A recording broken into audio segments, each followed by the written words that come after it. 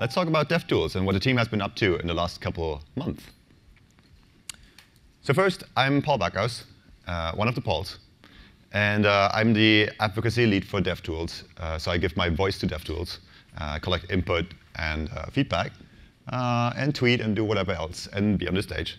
And I also do the outreach for AMP, the Accelerated Mobile Pages project. now, we've been talking about performance a lot in the last couple of years.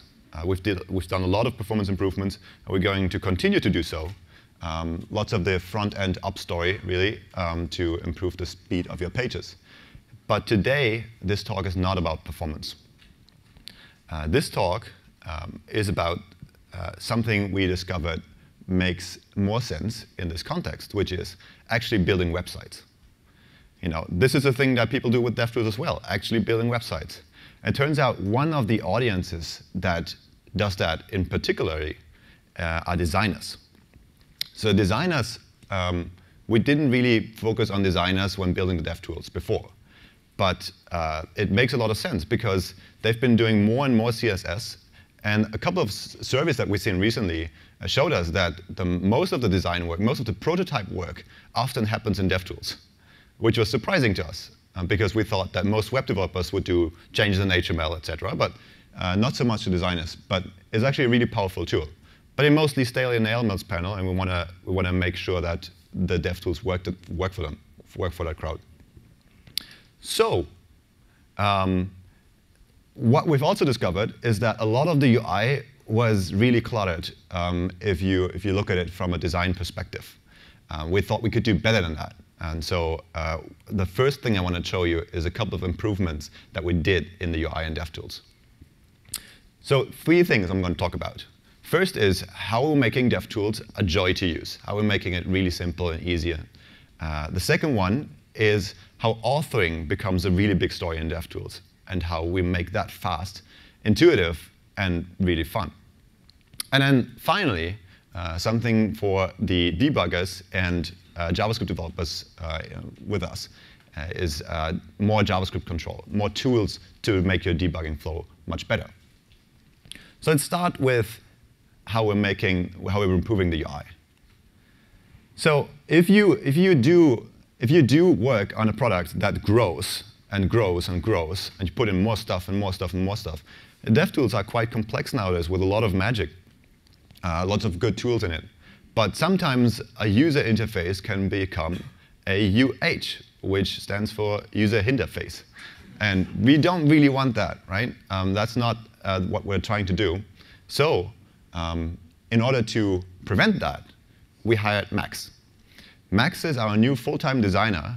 Uh, for the first time in history, we have a full-time designer working on DevTools and uh, improving everything um, around DevTools.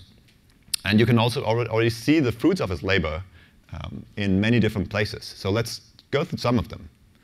Well, first, let me show you how far we've got. So we have 2009 on one side. We have 2015 on the other.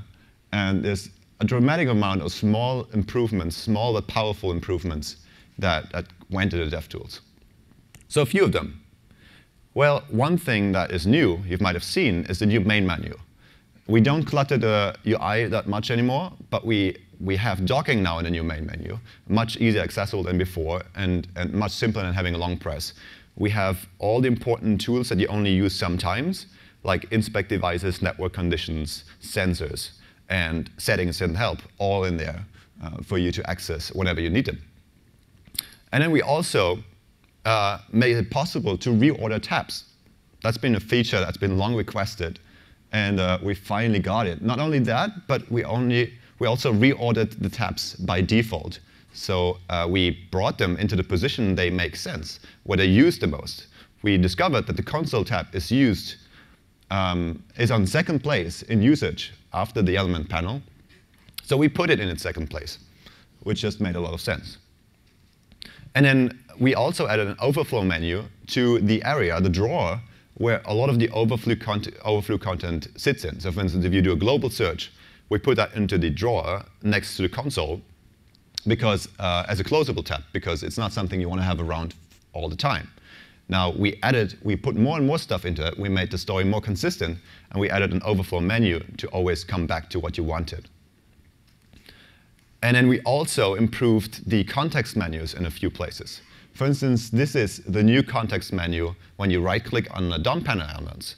And it gives you uh, a lot easier control over what you want to do. Copy outer HTML, for instance, something we didn't have before. Just copy the node. You don't need to do any special magic for that anymore. Uh, you can immediately trigger the active state or focus state right from there. Uh, we still have the other place in the style panel, but this is uh, a lot simpler than it was before. So we get that even with those improvements, and we continue doing them, there are still times where you will be completely lost. Right? There are times where you will think, OK, where did that toggle go? What just happened? And that's OK. Right? We're here to help. And if you've seen the main menu already, you've seen that there's a new help icon. And that help icon leads to our new homepage. Uh, that new homepage is not just a facelift to the old homepage, but in fact, uh, it, is, it is heavily rewritten so it becomes action-oriented. So a lot of the guides and tutorials that you find on that site are specific to a problem. You're trying to solve a performance problem? Sure, here's a couple of guides for that. Um, so that's really how, uh, how we build up that page. And then also, if all hope is lost, if, if you really can't find anything and you don't want to dig through the page, um, you can still always get in touch with us. We started tweeting a few months ago on the Chrome DevTools handle, um, and it's, it's becoming really successful uh, because people realize that we actually answer and reply. Um, and we also tweet a lot about the, the latest achievements in Canary and, and what the team is up to as soon as they come in there. So that's that. That's uh, some of the UI improvements recently. Uh, those were just over the last couple of weeks, but there's been a tremendous amount of UI improvements in the last couple of months. Some of them you probably don't notice every day because, uh, well, a lot of it is changing every day. But, um, but there's quite something, uh, uh, quite a focus for the team. So let's move on with how we're making authoring fast, intuitive, and fun. Now, here's a page I've been working on recently in my spare time and I want to improve it. I actually want to create a dark version of it. Um, I thought it would be nice to do play with the ambient light sensor and make a dark, dark version. So what do I do? Well, I have to pick colors. And I don't know about you, but I'm not terribly confident picking colors out of blue. Um, maybe some designers are that are very familiar with color theory, but I'm not. So usually what I do is I go to a website, I search for a palette that looks nice. Um, and I don't really often find what I'm looking for. I mean, or I go to some um, color wheel or whatever.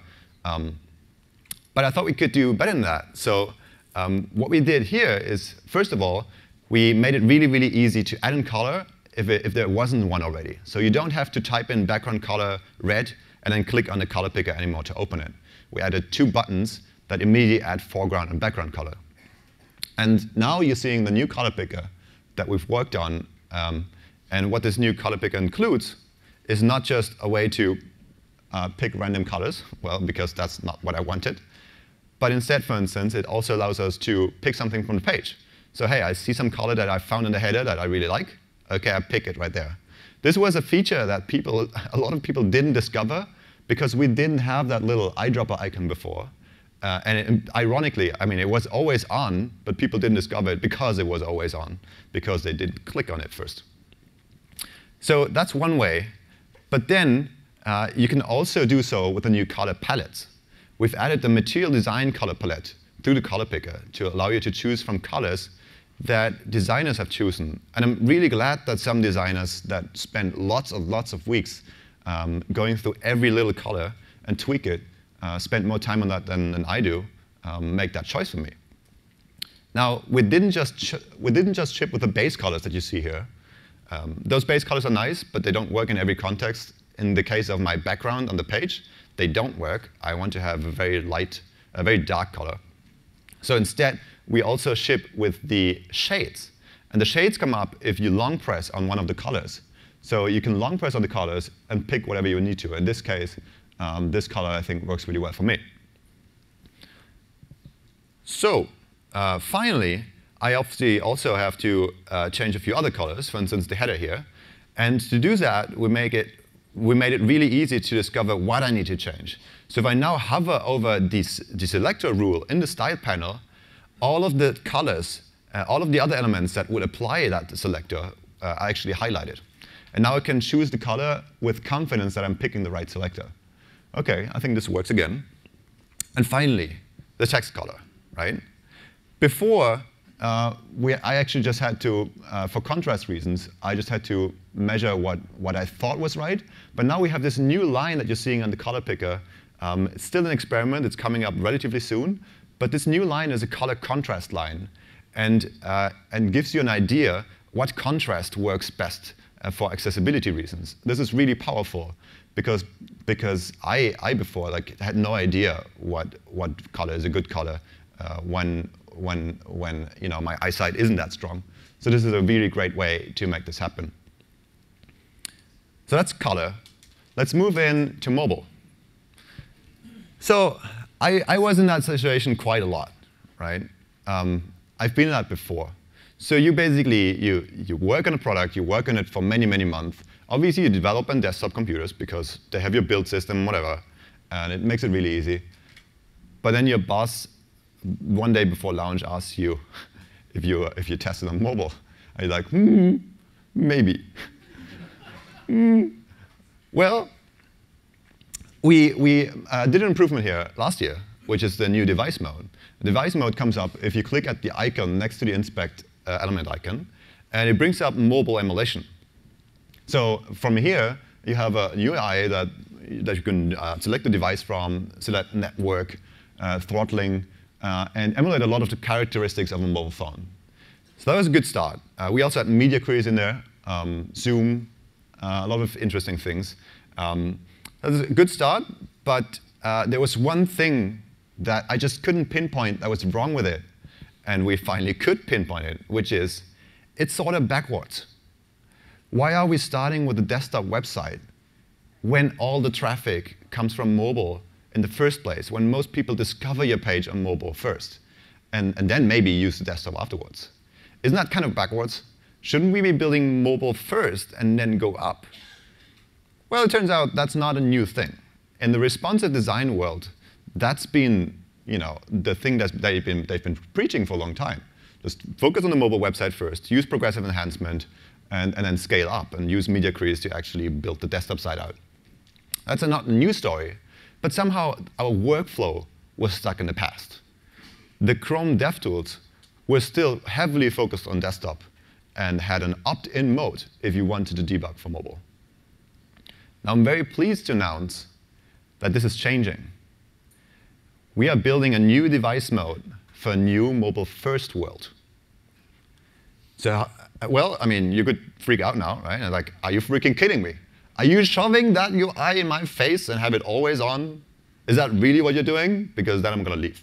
Um, OK, so this is not what we're doing, right? That would be a supreme amount of trolling. And we're not going there. Now, instead, we dramatically simplified the story. What we have here is a new device mode. That's on my own page right now. But as you can see, it's just one line that extends to the main menu. And uh, it gives you control over responsive design. We just started on desktop. Now we're in responsive mode. Uh, but we can also emulate a certain device that we want to. So in this case, for instance, the Nexus 5X. Um, and edit any and add any custom devices to it if we, if we want to. So uh, in, in addition to that, we now have Chrome within the device. So now you can emulate how it would look like on the keyboard, as well as in landscape on the keyboard and with the actual Chrome of the device. And all of it is centered. So it's really focused on the responsive design story.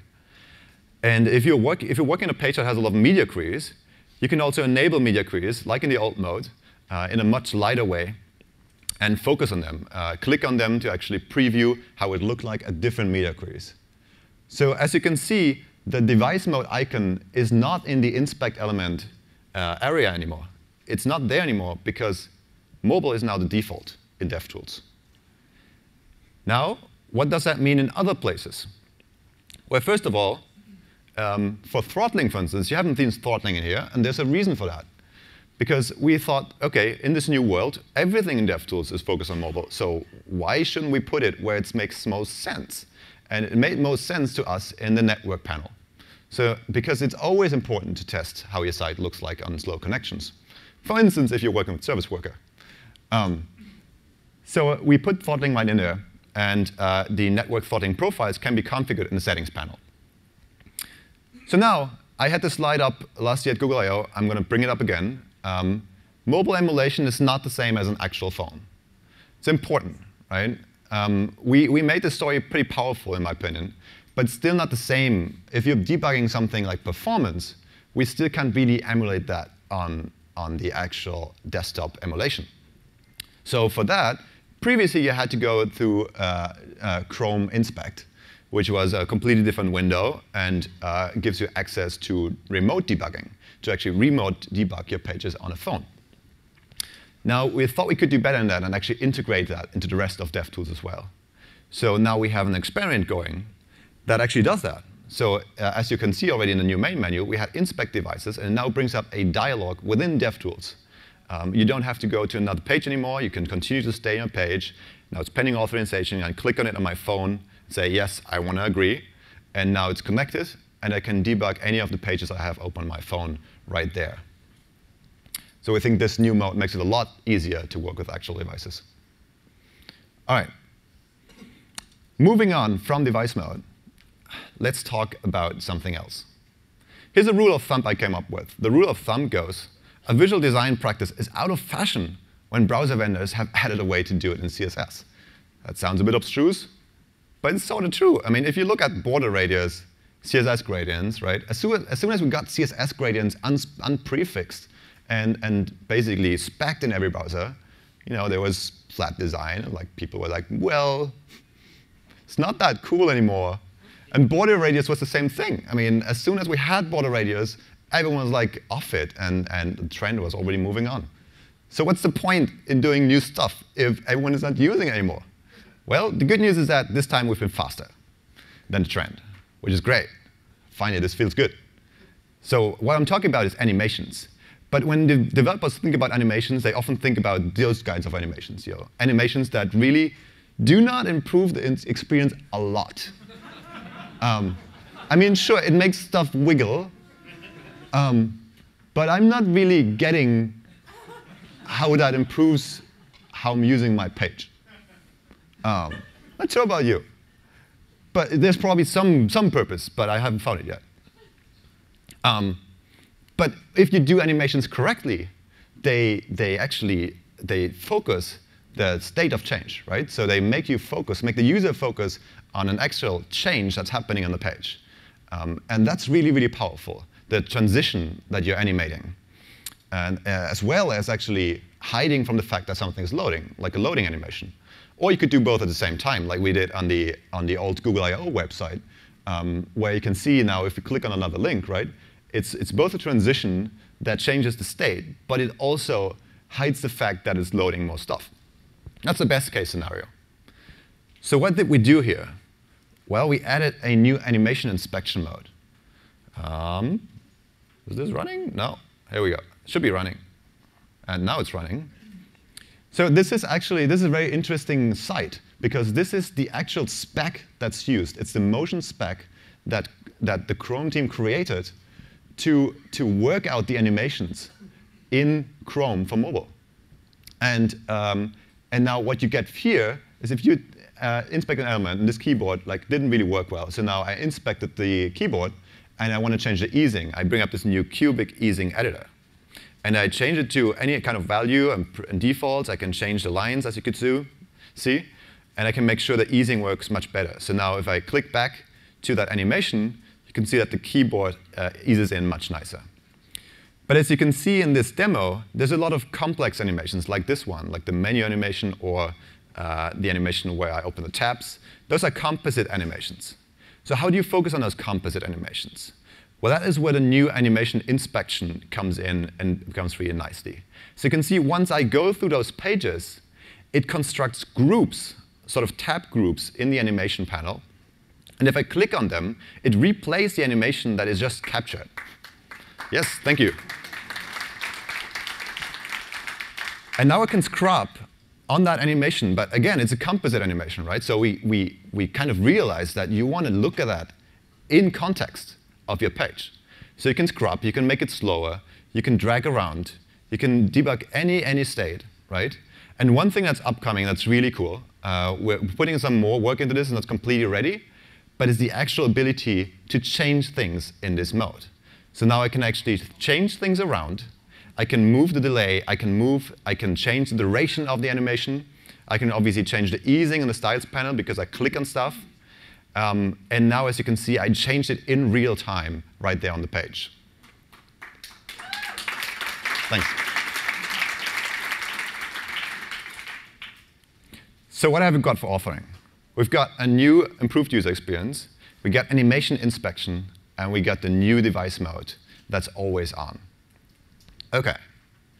So one, one thing that I have to mention is that some of the features are so new that you should be using Chrome Canary. Now, some, some features like the UI are already in there. I mean, you can use them, uh, they work. But uh, features like the animation inspection are still behind an experiment. Now, it's relatively easy to enable those experiments. Just go to Chrome Flags, enable DevTools experiments, um, click that, relaunch your browser, and then you have in your DevTools settings a new tab called Experiments, where you can toggle any kind of experiments that we're currently working on. And uh, it would be great if you could do that and actually give us feedback if we should do something better. So that was all good and great if you're building websites with DevTools. But what if you're doing front-end ops? What if you're sitting in a control center and, and focus on performance improvements, et cetera? Or actually debugging JavaScript? Well, we have some stuff for you too. Uh, we have a few new JavaScript things that are really, really nice. One thing we've added is uh, inline variables while debugging. So we now show um, what gets evaluated on every line once you're stepping through the code, which is really handy because otherwise you would have to hover over the variable first, um, dig in there, see what it is. But now you always see the context you're in and the current variable value in the debugging flow.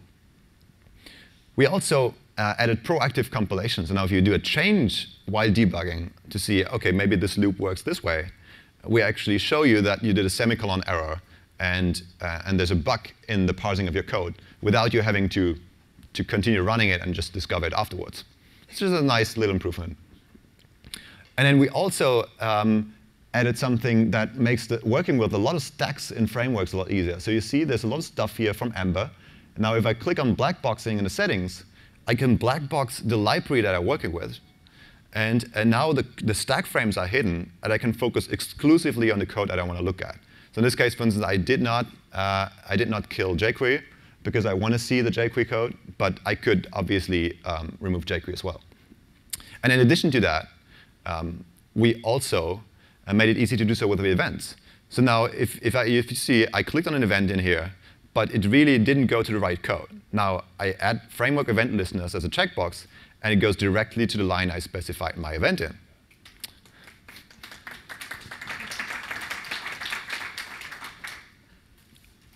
And then we got something for more advanced usage, which is object formatters. Object formatters allow you to, to uh, do this. So it allows you, if you, if you have custom objects of any kind of sort in your framework, or in your, in your uh, transpiler, you can make them look differently in DevTools now. You can make them look a lot nicer than before. So before, uh, you have the top, um, which is how it would have looked like before. But now you can style them and map them up in a way that they lock uh, in, in a really nice way to the console. That's object formatters.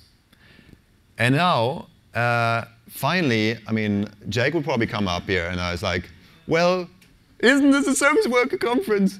What's the deal? Um, OK, well, yes, we have something with service work as well. um, so this was, this was service worker before.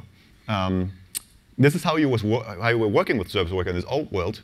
Uh, you went to service worker internals, same as with inspect devices. Um, it opens a new page, and it's really disconnected from the DevTools. And also, it, it is focusing on all of the things that are happening uh, across your browser, not just the current service workers that you want to inspect. Instead of that, uh, we actually moved it into the resources panel. So now, if you click on resources, you have this new tab called service workers in there.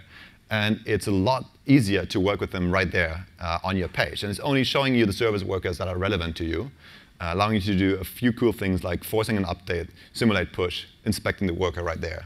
Um, there's still some UI tweaks that we can make to that uh, uh, thing, uh, I'm pretty sure, but I think it's a, a, great step forward. So now we've got making authoring a joy to use. Um, we, uh, we made DevTools fun to use, and we gave more power to JavaScript developers. But there's actually one more thing. There's one thing that is not quite ready for prime time, but I don't want to talk about. We rarely do this to, to give a sneak peek of something, but I'm just so uncomfortably excited about it that I wanted to show it to you guys. And that's the layout mode. Now, the layout mode is a what you see is what you get editor for DevTools. And if, you, if you're like me, you might cringe a little, and that's OK, right? Because you remember this kind of scenario where what you see is what you get is like sort of a maybe, right? Maybe I get what I see. Um, and that was uh, the scenario with many of the tools that I grow up with that generate a lot of garbage code in the background, and you have no idea what's happening. Um, so what was really important for us was a couple of design iterations that made this different. First one was if you look at a classical what you see is what you get editor, you get height and width controls. But how often, when you're doing a website, do you change the height and width of something? Well, you could change it on an image, sure, but mostly you change paddings and margins. So we spend hundreds and hundreds of iterations to come up with a model that actually works for paddings and margins. This is not the model that we're using, but it's just a design iteration that we're playing with. Um, we also wanted to make sure there's no black magic going on. So we're not generating garbage code in the background, and we always have you look at what's generated right there. Um, so with that being said, here's a preview of the layout mode. So I have this new little icon. I click on it. It becomes sort of a select. And I can click on anything on the page. And it brings up controls to change the padding and margin. Now, as you can see, when I'm hover, hovering over it, you get these little stops, the walls that signal in which direction you can drag and which one you can't, because everything on a website is highly dynamic. So you want to change the direction in the right way. Now, all of this matches up. So if I scroll wheel, um, I can change the actual rule. I can change the rule that I want to edit, and it changes all at the same time, as you can see in the menu now. And same thing here. I click on the paragraph. I, uh, I take the margin or padding handle. I change the rule by using the mouse wheel. It flashes up in the style panel, and I change it right there. And it changes the one below as well. So it's a really, really simple way to change what you're having on a page. It saves it directly back to the style sheet that you have on your page. You can then take that style sheet, bring it back to your editor, whatever you want. Um, and the handles look uh, very, very different than what you're used to, I'm sure. And the reason for that is simply that we want you to focus on the content. We didn't want to have a bunch of handles on top of your content, so we moved them outside. So this is just a preview of the layout mode. And there's a lot more to come. Uh, we're still working on this quite a lot. Um, and, but we're looking for your feedback. Uh, and now, um, next uh, talk uh, is going to be Paul Lewis and Paul Irish afterwards talking about what we did in DevTools when it comes to performance. So not all is lost if you were We're looking forward to performance. Thank you.